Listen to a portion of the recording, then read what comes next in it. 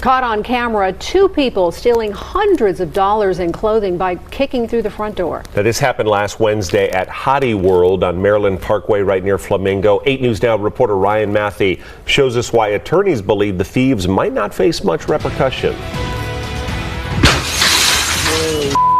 Pricey merchandise and a forced exit losing money for, you know, running the business.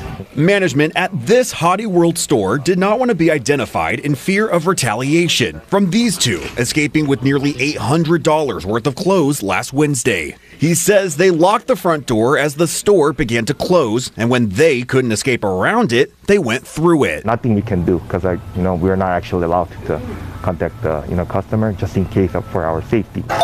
And management says that doesn't even cover the cost of nearly $2,000 to replace the door frame and the glass in such a short notice.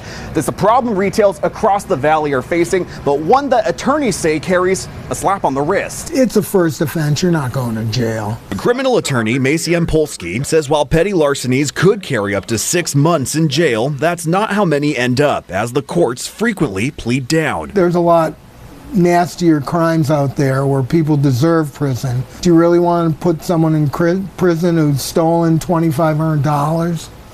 You know, it's just not going to happen. Yeah. Petty larceny school, at most, is what he's witnessed to get out of it. Once it gets dismissed, you can seal the record, which is a civil procedure. And then when that's done, if anyone looks, they won't see that you were charged with a crime.